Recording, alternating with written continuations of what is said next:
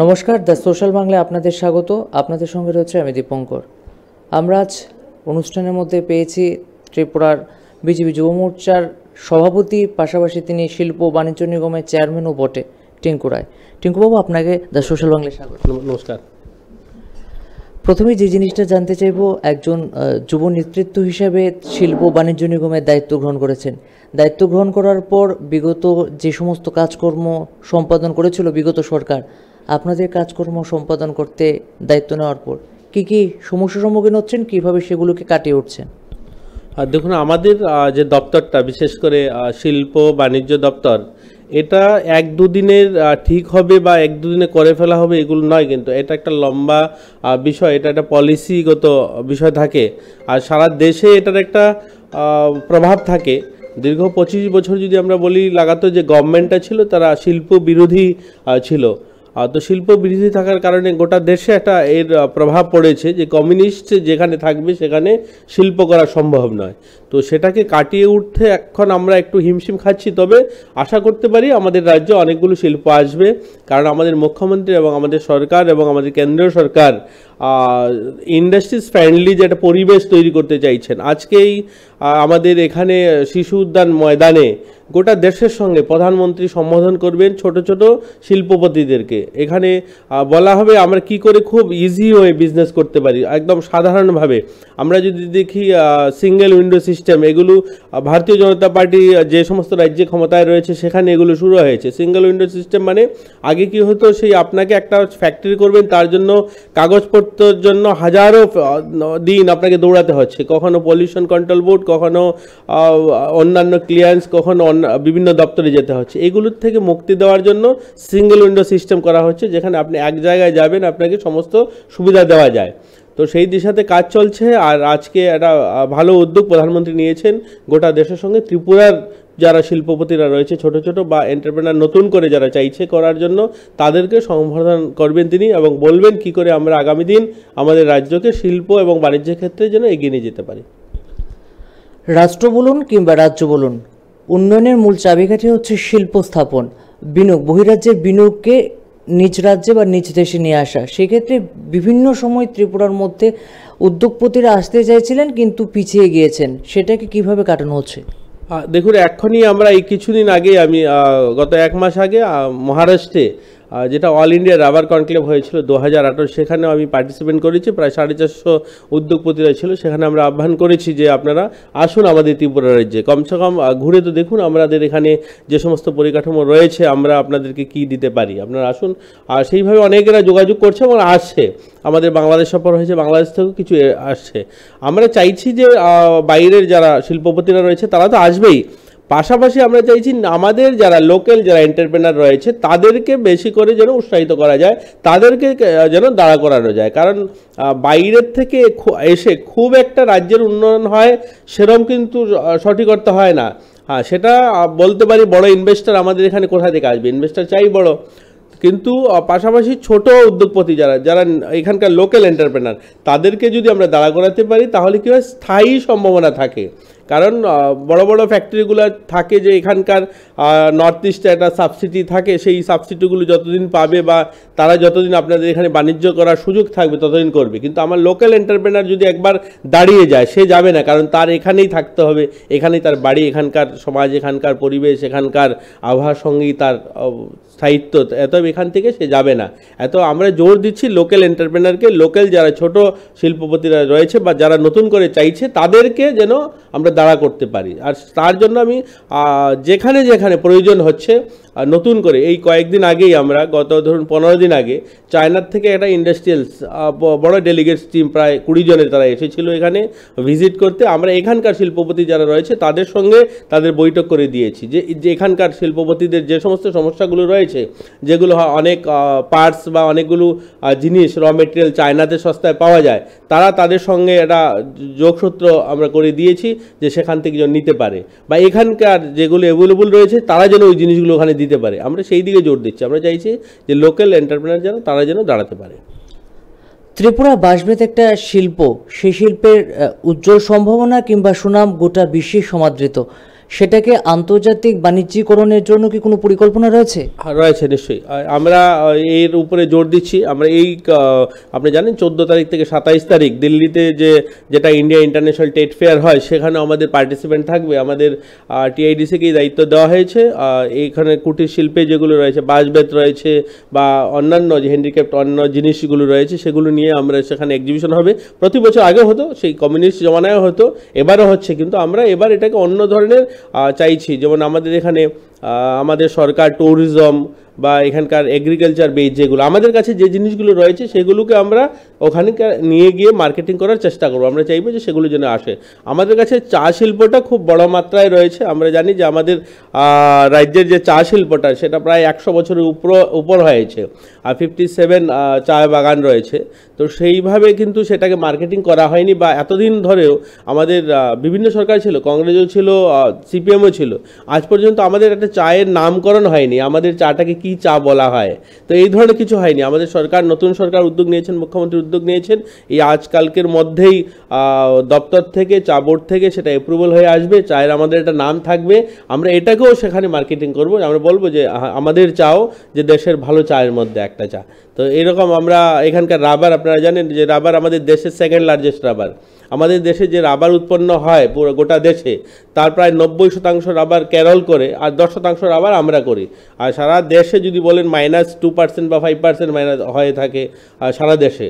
তাহলে রাবার একটা বিরাট আমাদের প্রোডাক্ট এবং এটা আমাদের এটা অর্থনৈতিক বলি যদি আমাদের কৃষকদের অর্থনৈতিক একদম পরিবর্তন করে দিতে পারে। কিন্তু আমাদের দুর্ভাগ্যের এত বছর এখানকার রাবার নিয়ে যারা চাষ করছেন বা রাবার নিয়ে যারা কাজ করছিলেন, এ কেন এটাকে এইভাবে রাখা হয়েছে আমি জানি না। রাবারটাকে চাইলে আরও অনেক ভালোভাবে কৃষকদের হাতে পৌঁছে দেওয়া যেত পয়সাটা। দেশে রাবারের যে কোয়ালিটি বলা হয় গ্রেড ওয়ান মানে R S one R S two R S three R S four R S five এই ধরনের স্ট্যান্ডার্ড আমরা শুনি শুধু কেরলে হয়ে থাকে, আমাদের এখানে হয় না। তো রাবার যে কস্ট সেটা তো যে কেরলে যে গাছ থাকে এখানে সেম গাছ থাকে। কেন এখানকার রাবার গ্রেড ওয়ান হবে না? কেন এখানে আর ওয়ান আমাদের রাবার উৎপন্ন হবে না? এটা ছোটোখাটো ওই স্মোক হাউসের মাধ্যমে রাবারকে প্রসেসিং করতে হয়। তো সেগুলো যে মাত্রায় হওয়া চাই, সে মাত্রা হয়নি। বা লেবার যে ধরনের স্কিল লেবার চাই, সে ধরনের স্কিল এদেরকে করানো হয়নি। আমাদের সরকার সেই দিকেও উদ্যোগ নিয়েছে। আমাদের দপ্তর বলছে যে ছোট ছোট স্মোক হাউস পুরা রাজ্যে তৈরি করে রাবারটাকে যেন উন্নত করা যায়। এবং রাবারটাকে ওপেন মার্কেটে বিক্রি করা যায় কিনা সেই ব্যবস্থা, সেইভাবেও আমরা দেখছি যে রাবারটা যেন ওপেন মার্কেটে বিক্রি করা যায়। এখন কি ওপেন মার্কেটে বিক্রি হয় না। আমাদের রাবার বোর্ড বা মণিমালা এরা এটাকে কিনে এখানকার। তো আমরা চাইব যে বিভিন্ন কোম্পানি বড় কোম্পানিগুলো আমাদের দেশের যে রাবার হয়, সেটা আপনি বলতে পারেন সিক্সটি পার্সেন্ট রাবার আমাদের হয় এবং সিনথেটিক রাবার বাইরের থেকে ফোর্টি পার্সেন্ট কিনতে হয় আমাদের বিদেশ থেকে। তো অথচ এই রাবারটাকে আমরা সঠিক মাত্রায় রেট পাচ্ছে না আমাদের এখানকার কৃষকরা। তো এটাকে আমরা চাইব যে ভালো রেট পায় এবং কোয়ালিটি রাবার হয় এবং এখানে যে বড় বড়, যেমন বড় একটা রাবার চাই রেলওয়ে ডিপার্টমেন্টের রেলওয়ে সেফটি যত ধরনের জিনিস রয়েছে সমস্ত রাবার ইউজ করা হয়। আমাদের ডিফেন্সে যত সেফটি জিনিসপত্র ব্যবহার করা হয় সেফটির জন্য বুলেট প্রুফ জ্যাকেট বলুন, এই ধরনের জিনিস, সমস্ততে রাবার ব্যবহার করা হয়।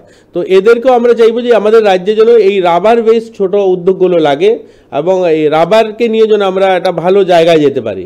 তো সেই দিশাতে কাজ চলছে, আপনারা হয়তো এটা দু চার, পাঁচ মাস, ছ মাস সময় লাগবে সেটা আপনারা দেখবেন যে আমাদের পরিবর্তন হয়েছে এই জায়গাটায়। কারণ দীর্ঘ পঁচিশ বছরে যে পরিবেশ তৈরি হয়েছে, যে ওয়ার কালচার, লেবার চাই, স্কিল লেবার চাই, ফ্যাক্টরি এমন একটা জিনিস, এখানে যতই আধুনিক মেশিন আপনি লাগান, সেখানে লেবার চাই। কিন্তু আমাদের এখানে কর্মসংস্কৃতিকে এইভাবে নষ্ট করেছে কমিউনিস্টরা। যে মেসিল মিটিং ক্লাব, জিন্দাবাদ, মুর্দাবাদ, মানছি না, হচ্ছে না। তো এইগুলো করতে করতে করতে ওয়ার কালচারটা অনেকটা পিছিয়ে গিয়েছে আমরা। তো বাইরের বড় কোম্পানিগুলো যখনই আসতে চাইছে, তারা বলছে যে আপনাদের এখানে তো লেবার পাওয়া যায় না। চাঁদার একটা বিষয় রয়েছে। আগে কি হতো প্রতিদিন কখনো কৃষক সম্মিলন, কখনো মহিলা সম্মিলন, কখনো ছাত্র সম্মিলন, কখনো যুব সম্মিলনের নাম করে শুধু এই ফ্যাক্টরিগুলোতে চাঁদাবাজি।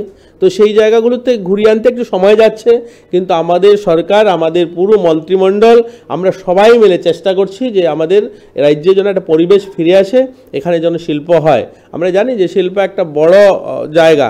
আমরা ছত্তিশগড়কে যদি দেখি ছত্তিশগড়ের বা ঝাড়খণ্ডের অর্থনৈতিক পরিবর্তন একদম পুরো ঘুরে গিয়েছে শুধু শিল্পের উপরে দাঁড়িয়ে। আজকে ছত্তিশগড়কে আপনি যদি কুড়ি বছর পিছনে যান, দেখবেন সেখানে ভুকমরি ছিল, সেখানে নকশাল ছিল। আজ সেগুলো নেই, আজকে সেখানে এডুকেশন হাব হয়েছে, শিল্পের হাব হয়েছে। সারা দেশ থেকে শিল্পপতিরা যাচ্ছে। তো আমরাও আশা করতে পারি আমাদের রাজ্য সেই একটু সময় নেবে, কিন্তু আমরা পরিবর্তন আনব। আমরা কথা দিয়েছি মানুষকে, আমরা মানুষের কাছে নির্বাচনের আগে কথা দিয়েছিলাম যে আমরা এখানকার শিল্প বা মানুষের বিকল্প কর্মসংস্থানের ব্যবস্থা করব। তাই মানুষ তো তাকিয়ে আছে, আর সেই সেটা নিভানোর পালা এবার আমাদের। তার জন্য আমাদের সরকার, আমাদের মুখ্যমন্ত্রী সবাই চেষ্টা করছে। আর আমরা আপনাদেরকে কথা দিতে পারছি যে কিছুদিনের মধ্যে তার হয়তো আবাস আপনারা পাবেন। চা শিল্প সম্ভাবনা থাকা সত্ত্বেও চা শ্রমিকদের বিভিন্ন সময় দাবি দেওয়া নিয়ে অভিযোগ ওঠে শ্রমিকরা ন্যায্য মজুরি পাচ্ছেন বা বিভিন্ন ধরনের বহু চা বাগিচা শ্রমিকরা এখন কর্মসংস্থান হারিয়েছেন। বহু মালিক চা বাগান গুটিয়ে ফেলেছেন। সেইটাকে কীভাবে ম্যানেজ করা হবে? দেখুন, সেটার একটা বড় বিষয় হয়েছে যে ত্রিপুরাতে চা বাগান, এর জন্য চায়ের যে কোয়ালিটি বা চা বাগানে যে লেবার পাওয়া যাচ্ছে না। দেখুন, একশো তিন বছরের চা ইন্ডাস্ট্রিজ আমাদের ত্রিপুরাতে। অথচ সরকার এই যদি বলি আমরা মধ্যে পাঁচ বছর ছেড়ে দিন, তো লাগায় পঁয়ত্রিশ বছর, আর জোট ধরে নিন তো চল্লিশ বছর, এর আগেও কংগ্রেস ছিল। কোনোদিন এই চা যারা বাগানে কাজ করেন, তাদের ছেলে মেয়েদের শিক্ষা বা তাদের বাড়ি ঘর তাদের খাওয়া পড়া, তাদের জলের ব্যবস্থা কোনোদিন ভাবেনি ওরা। এই সরকারগুলো কোনোদিন ভাবেনি। আপনি ভেবে দেখুন একবার, যারা চা বাগানে কাজ করে, তাদের নামে কোনো জমি নেই। অথচ কোনো কারণে, ধরুন পুলিশ কাউকে ধরে নিয়ে গিয়েছে থানায়, তাহলে কোর্টে চালান করেছে, তাকে বেইল করতে হবে। তো বেইল করতে হবে, তার কাছে কোনো দলিল নেই। একটা গ্যারেন্টার চাই। কোর্ট তো বলবে, একটা ছোট গ্যারেন্টার নিয়ে আসো। গ্যারেন্টার মানে কি? আমরা দেখি সব জায়গায় একটা দলিল নিয়ে সেখানে গ্যারেন্টার হিসেবে উপস্থিত হন। কিন্তু চা বাগানে যারা থাকেন, তাদের কাছে কোনো দলিল নেই। কারণ তাদের মালিকানা নেই। সেই চা বাগানে ওরা কিন্তু একশো বছর ধরে থাকছে, সেখানে কাজ করছে। অথচ তাদের নামে কোনো জমি অ্যালার্ট করেনি। না সরকার করেছে, না চা বাগানের মালিকরা করেছে। তাতে কি হয়েছে? সেখানে নেতাদের পিছনে যে গিয়েছে। আর বিগত দিনে বড় বড় মিটিং, মিছিল, মুখ্যমন্ত্রী গত দিনে যেগুলো ছিলেন তারা বা নেতারা গিয়েছেন, সেখানে মাঠ ভর্তি করার জন্য চা বাগানে লেবারদেরকে ইউজ করা হয়েছে। সেখানে শৌচালয় রয়েছে কিনা, বাগানে যারা শ্রমিকরা কাজ করছে, তাদের জলের ব্যবস্থা রয়েছে কিনা, এগুলো কোনো ধরনের পরিকল্পনা হয়নি। একদম কোনো কিছু করা নেই তাতে কি হয়েছে? সেখানকার ছেলেমেয়েরা যারা খুব কষ্ট করে লেখাপড়া করেছে, বাইরে এসেছে, বাইরে এসে দেখেছে যে বাইরের পরিবেশটা পুরো অন্য এখানে চায়ের দোকানে কাজ করেছে, কাপড়ের দোকানে কাজ করেছে। করার সঙ্গে সঙ্গে তারা দেখছে যে এখানে সমস্ত ব্যবস্থা রয়েছে। তখন তার মা বাবাকে শিফট করে তারা শহরমুখী করে নিয়েছে। তো কি হয়েছে? চা বাগান থেকে সমস্ত শ্রমিকরা শহরমুখী হয়ে গিয়েছে। আর তাই চা বাগান শ্রমিক শূন্য হয়ে গেছে। শ্রমিক কমে গেছে সেখানে। শ্রমিকরা কমে যাওয়ার কারণে আধুনিক প্রযুক্তিতে মেশিনে পাতা উঠাতে শুরু করেছে। মেশিনে পাতা উঠাচ্ছে মানে পাতার কোয়ালিটি খারাপ হচ্ছে।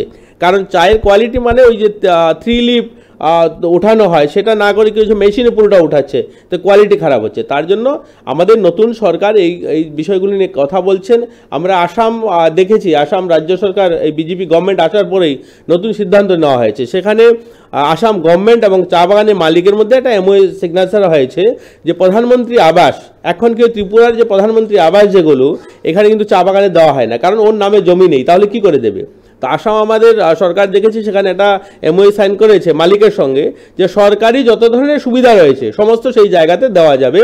এবং বাগান মালিকের একটা ন অবজেকশন দেওয়া হয়েছে। বাগান মালিক কোনো অবজেকশন থাকবে না। তারা সেই জায়গা বিক্রি করতে পারবে না। কিন্তু সেখানে বাড়ি ঘর করা, শৌচালয় করা, বিভিন্ন সুযোগ সুবিধা সরকারি পাওয়ার ক্ষেত্রে কোনো ধরনের অসুবিধা হবে না। আর আমাদের এখানেও সেই বিষয়ে কাজ চলছে, সেগুলো একটু সময় লাগছে, সেগুলো হয়ে যাবে। এবং এখানে যখনই বাগানের লেবাররা সুবিধা পাবে, তার যখন ঘর থাকবে স্কুল থাকবে, জলের সুবিধা থাকবে, সে বেরিয়ে আসবে না সেখান থেকে। আর আমাদের সরকার কাজ করছে। আপনাকে বললাম না যে আমাদের এই ইন্ডাস্ট্রিজ বলুন আর এই চা বাগান বলুন, এগুলো একটু লম্বা সময়ের। এগুলো চাকরি অন্য ক্ষেত্রে যেমন দেওয়া অ্যাডভার্টাইজমেন্ট হলো আর ইন্টারভিউ দিলাম, চাকরি পেয়ে গেলাম, এরকম নয় কিন্তু। এটা একটা পুরো চেইন একটা প্যারালাল একটা চেইন কাজ করতে হবে। ধীরে ধীরে ধীরে ধীরে একটু সময় লাগবে দু তিন বছর লাস্ট আপনি যদি দেখুন তারপরে দেখবেন যে এখানে ঠিক একটা পরিবেশ তৈরি হয়েছে। চা শিল্প উন্নত হবে, এখানকার ছোট ছোট যেগুলো আরও অন্যান্য শিল্প রয়েছে, সেগুলো দাঁড়িয়ে যাবে। আপনার কাছে সর্বশেষ জানতে চাইব শিল্প বাণিজ্য নিগম থেকে যারা শিল্প স্থাপন করবেন, ছোট ছোট যারা উদ্যোগপতিরা উৎসাহিত হবেন, তাদের ক্ষেত্রে কি কি লোনের ব্যবস্থা রয়েছে? সরকারি পর্যায়ে কি কি তারা সুযোগ সুবিধা পেতে পারেন? দেখুন, আমাদের কেন্দ্র সরকার আমাদের টিআইডিসিতে লোন দেয়, কিন্তু কেন্দ্র সরকার অনেকগুলো এই নতুন পরিকল্পনা দিয়েছে। যেমন প্রধানমন্ত্রী রোজগার যোজনা, এটা একটা বড় লোন আপনি নিতে পারেন। স্টার্ট আপ ইন্ডিয়াতে অনেক বড় বড় লোন রয়েছে। আর আপনার নাবার্ড লোন দিচ্ছে, আমরা টিআইডিসি লোন দিচ্ছি। তবে লোনের জন্য কোনো অসুবিধা নেই। কথা হচ্ছে করার যারা ইচ্ছা এবং সঠিক যারা এন্টারপ্রেনার হতে চায়, যারা চায় যে আমরা নিজে কিছু করতে, আমরা তাদের সঙ্গে রয়েছি, আমাদের দপ্তরে যোগাযোগ করলে আমাদের এখানে, আমরা নতুন করে আপনাকে বলি, আমাদের দপ্তর নতুন করে একটা টেন্ডার করতে যাচ্ছে, যে বড় বড় দেশে কি হয়, বড় বড় কনসালটেন্ট ফার্ম থাকে, সেখানে তারা গাইড করে কি করে ফ্যাক্টরি করতে হবে, কি কোথায় মেশিনের পাওয়া যায়, কোথায় লোন পাওয়া যায়, কি করে সাবসিডি নিতে হবে, কি করে সেট লাগাতে হবে, কি করে ঘর করতে হবে মানে পুরো প্রজেক্টটা নিয়ে তারা গাইড করে। এই ধরনের আমরা হেল্প ডেস্ক আমাদের অফিসও আমাদের শিল্প দপ্তরও আমরা খুলতে যাচ্ছি। এটা এক দেড় দু মাসের মধ্যে আমাদের দপ্তরে এই ধরনের একটা সেকশন থাকবে যেখানে আপনাকে সব ধরনের সাহায্য করার জন্য, সমস্ত ধরনের লাইসেন্স কোথায় মেশিন পাবেন, কোথায় কি করা যেতে পারে। আপনি কোন এলাকাতে ফ্যাক্টরি করবেন? তো আপনি যদি গন্ডাছড়ায় ফ্যাক্টরি করেন, সেখানে কোনটা র মেটেরিয়াল আপনার কাছে অ্যাভেলেবল রয়েছে? আপনি কোনটা করলে পরে কোথায় আপনি বাজার পাবেন? সমস্ত ধরনের কনসালটেন্ট এই ধরনের ফার্মকে আমরা আহ্বান করছি যে আমাদের এখানেও বসবে আপনাদেরকে সাহায্য করবে। তো এতে আপনারা আশা করতে পারেন যে আগামী দিন আমাদের শিল্প উন্নয়ন হবে। আপনারা কি তাহলে সেই পরিকল্পনা নিয়েছেন শিল্প স্থাপনের জন্য একেবারে প্রশাসনকে মানুষের দরজায় নিয়ে যাওয়া? সত্যি এটা তো আপনি আজকের প্রোগ্রামেই দেখবেন। আজকে প্রধানমন্ত্রী সরাসরি দিল্লির থেকে ত্রিপুরার যারা শিল্পপতিরা রয়েছে তাদের সঙ্গে কথা বলবেন উনি ভিডিও কনফারেন্সিংয়ের মাধ্যমে। তো এটা কি ভাবতে পারি? আমরা কোনোদিন এইগুলো হয়েছে যে প্রধানমন্ত্রী ত্রিপুরা রাজ্যের এমনকি সিপাহী জলাতে হবে সেটা। মানে সিপাহী জলাতে ছোট একজন বিস্কিট বেকারির মানুষ সেখানে বসে প্রধানমন্ত্রী কি পরিকল্পনা করছেন দেশে শিল্পকে নিয়ে সেটা উনি সেখানে বসে জানবেন এবং বোঝার সুযোগ থাকবে এবং ন্যাশনাল লেভেলের অনেক অফিসাররা আসবেন, আমাদের চিফ সেক্রেটারি থাকবেন ওনারা সাহায্য করবেন, কথা বলবেন এই ছোট ছোট শিল্পপতিদের সঙ্গে। এগুলো কোনোদিন হয়েছে আমাদের রাজ্যে? বা আমাদের দেশে হয়েছে? আমরা চাইছি সত্যি পরিবর্তন। মোদিজি যেমন বলছেন যে সবকা সাথ সবকা বিকাশ। উনি বলছেন যে হ্যাঁ বড় শিল্পপতিরা যেমন সম্মান পাবে ছোট শিল্পপতিরাও সম্মান পাবে। সবার সমান অধিকার। তো সেইভাবেই কাজ চলছে। এক দেশ এক অধিকার। এটা এটা আমাদের মোদিজির স্লোগান যে সবকা সাথ সবকা বিকাশ। আর আমাদের মুখ্যমন্ত্রী যেটা বলছেন এক ত্রিপুরা শ্রেষ্ঠ ত্রিপুরা সেই দিশাতেই কাজ চলছে। দীপাবলি দোরগোড়ায় দ্য সোশ্যাল বাংলার মাধ্যমে গোটা রাজ্যবাসী এবং গোটা দেশবাসীর জন্য কি বার্তা বা কি মেসেজ থাকবে? গোটা দেশবাসী এবং আমাদের ত্রিপুরাবাসী আর আপনাদের এই মিডিয়ার যারা রয়েছেন, সবাইকে আমি আমার ব্যক্তিগত তরফ থেকে, আমার পরিবারের তরফ থেকে এই দীপাবলিতে আপনাদের সবাইয়ের জন্য শুভকামনা রাখব যে আপনারা ভালো থাকুন, সুস্থ থাকুন।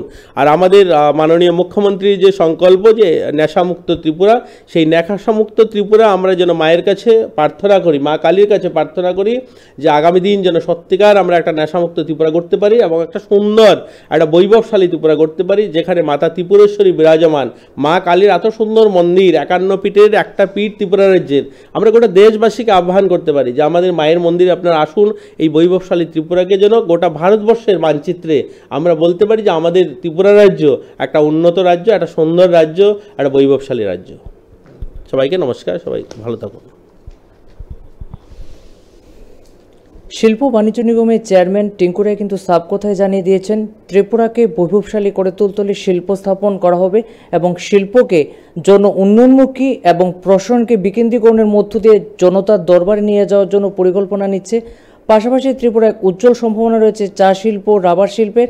তাকেও আধুনিকীকরণ করার মধ্য দিয়ে শ্রমিকদেরও স্কিল ডেভেলপমেন্ট করা হবে। সেই পরিকল্পনা নিচ্ছে রাজ্য সরকার।